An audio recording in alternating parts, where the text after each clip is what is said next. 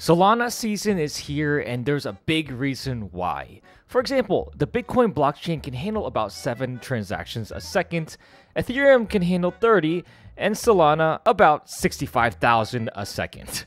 So it's obvious to see why there's so much hype behind Solana. But if you're stuck with the old MetaMask browser extension and you're fiddling around with a way you can actually add Solana to your MetaMask, and you're scratching your head, have no fear there's an alternative, and that is Phantom Wallet. So in this video, we're going to cover the Phantom Wallet and go over exactly what the Phantom Wallet is and how to get started using the Phantom Wallet as well as its neat features that even MetaMask doesn't have. So let's dive right in.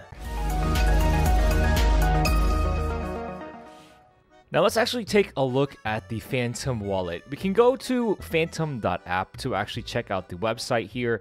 Um, but first of all, let's not actually confuse this with the actual Fantom network. That's at fantom.foundation, and they have their own wallet, which is the F wallet. But what we're looking for is the Phantom wallet with a PH. So upon first inspection, it's a crypto wallet that you'll love. Um, Phantom makes it safe and easy for you to store, send, and receive stake and swap tokens on the Solana blockchain. So yeah, this wallet is specifically for Solana. So if you're new to the Solana blockchain, we can definitely use this. And if you're wondering why MetaMask doesn't work with Solana, it's because Solana is not really based on Ethereum. It's not a layer 2, it's actually a layer 1 blockchain. So it definitely needs its own wallet. So if we go down here, we have the interface we can take a look at.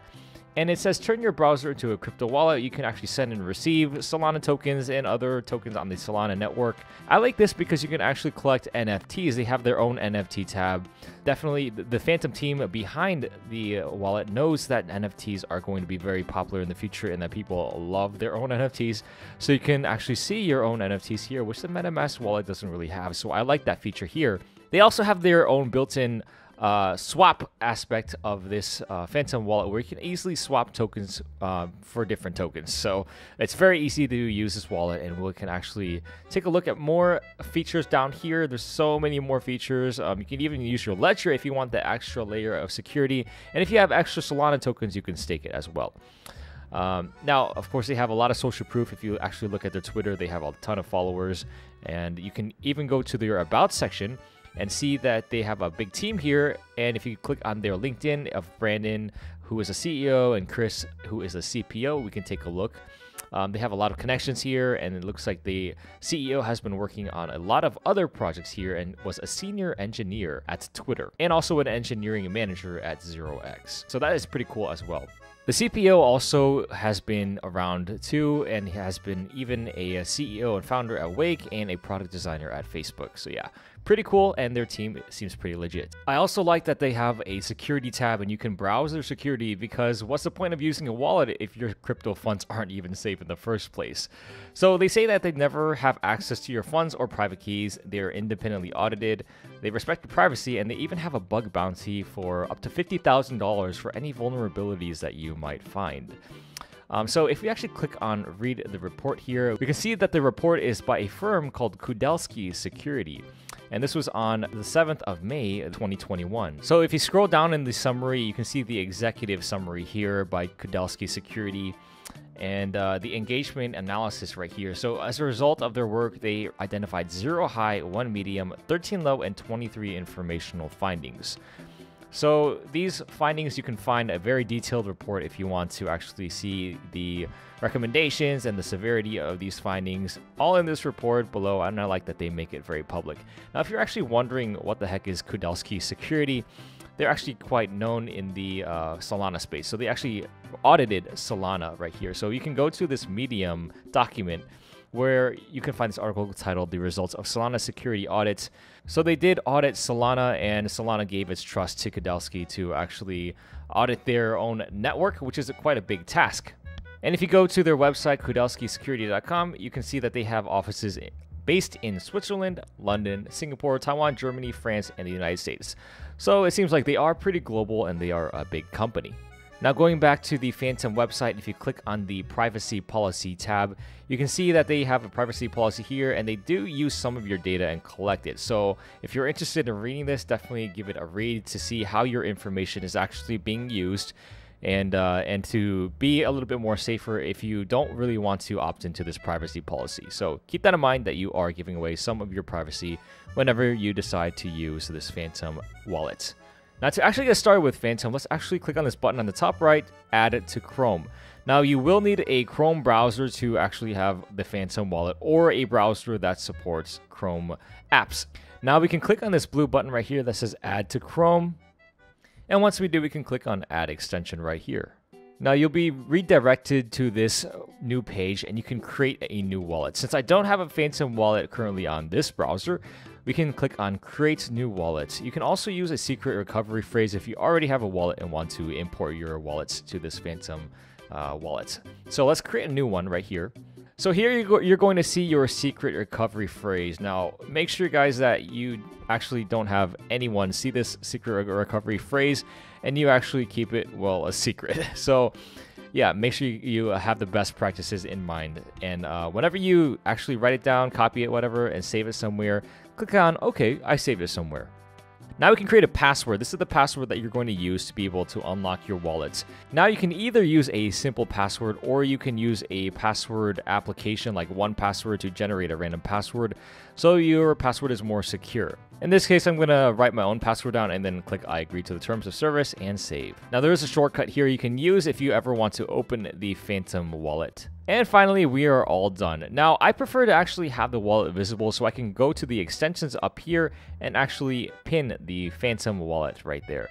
Now I can actually see the Phantom wallet and click on it at any time. Now to actually use the wallet, let's actually click on the Phantom wallet right here and the interface will pop up. You might be prompted to input your password, but in this case, I already logged in, so here is my newly created wallet.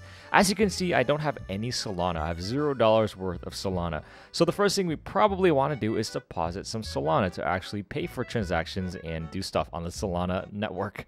So we can deposit Sol by clicking on this button right here that says deposit Sol and we can send it from another wallet or send it from an exchange uh, of your choice. And when we do, we have this nice QR code you can use. You can also copy your wallet address so we can deposit any funds from Solana network to this specific wallet. If you're also using the FTX exchange, which is a really nice exchange, you can also deposit from FTX by clicking on this button right here. Now, if you go to the second tab right here, this is a really nifty tab for your NFTs. Of course, if you receive any NFTs or collectibles, you will be able to see your NFTs right here, which is a really cool feature. You can also receive collectibles by clicking on this one. Um, and then you'll also be able to click on copy to copy your address and then receive any type of NFTs um, and then you'll be able to see it in your wallet, which is a really cool feature right there. Now, this tab is really interesting as well. If you have any tokens, you can swap it for any other token on the Solana network. So let's say I want to swap some SOL, I can swap it for USDT, USDC, Serum, Raydium, um, any other token on this list. So that is really a nice feature if you wanted to just do a really quick trade. The next tab right here, we have our activity tab. So we can check out any other transactions we've done. So that's pretty nifty to see any recent transactions and recent activities. Now, if we go to this icon right here, the gear icon, this will show more settings, the advanced settings. We can go here to see our address book. This basically allows you to add any other addresses that you normally would use. So you can actually add your own address right here on the Solana blockchain for any other address that you want to send it to. So that makes it very convenient to quickly select an address from your address book in case you use that address a lot to trade between that address and this one on the Phantom network. You can also go to Trusted Apps here and configure your trusted applications. This is really nifty because you can see which websites you actually grant access to. So let's go to one farm on the Solana network, which is mango.markets right here. Now we can click on start trading to go to the actual app and you'll see when I actually connect my Phantom wallet here, um, I'll give it permissions. So I'll click on the top right to connect my Phantom. Now here's the interface that actually appears. Now you can see the permissions I give it. It says this app would like to view your wallet balance and activity and request approval for transactions. Now when I click connect, I grant it those permissions. Now when I click on the Phantom wallet right here and I go back to the same trusted apps section right here, I can see that trade.mango.markets actually has permissions right here.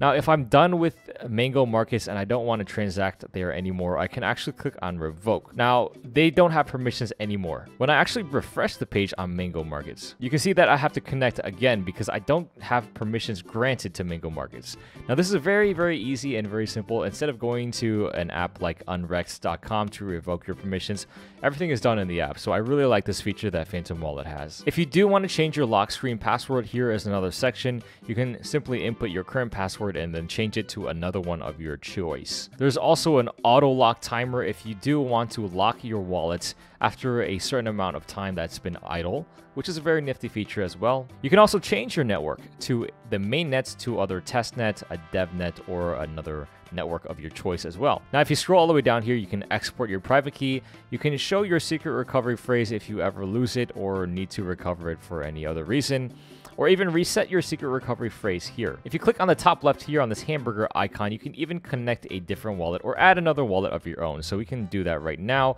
Um, I can create a new wallet, import a private key to import an existing wallet, and one of my favorite features is even you can connect your hardware wallet like a ledger for that extra layer of security. So that's basically it about the Phantom wallet. I really like this wallet because it's very easy to use and it adds some more features that even MetaMask doesn't have. So guys, what do you think about the Phantom wallet? Do you like it? Do you hate it? What are your thoughts? please leave a comment below. And if you like this video, join our Telegram channel over at RugDoc. I'll leave a link in the description below. As always, guys, stay safe in the DeFi space and have an amazing day.